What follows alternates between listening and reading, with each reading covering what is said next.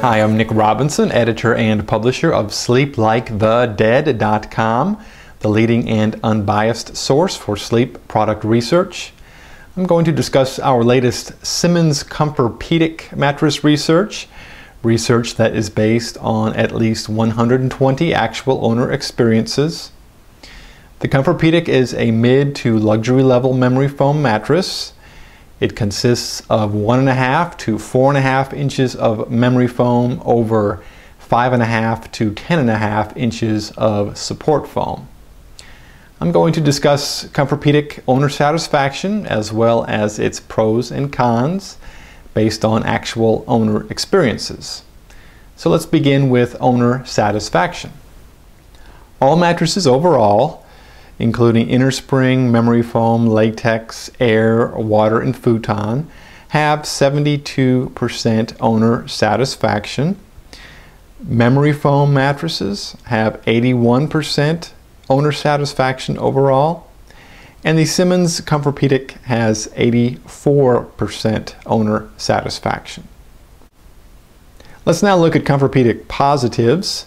And as we've just seen, ComforPedic does have above average owner satisfaction.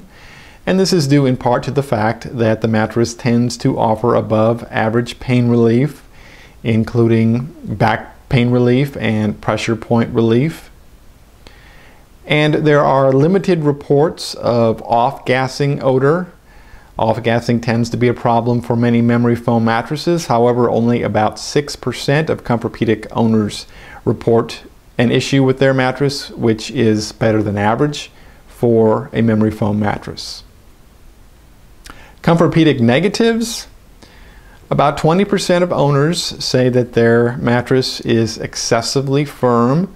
However, they often say that over time it can soften at least somewhat. Heat retention is a complaint from about 9% of owners and this is somewhat higher than average for a memory foam mattress. Although it uses gel memory foam, which tends to sleep cooler, ComforPedic uses only one inch of the material, and this amount may not be adequate to keep things cool for some hot sleepers. Competitor mattresses such as the iComfort, by comparison, use at least twice as much gel memory foam and tend to not have as much of a sleeping hot problem. Finally, Better Business Bureau rating.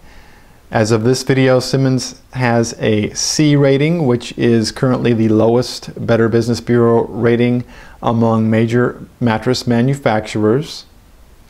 And what an average Better Business Bureau rating means is that Simmons may not be quite as able or willing to stand behind their products as much as uh, manufacturers that have a better rating.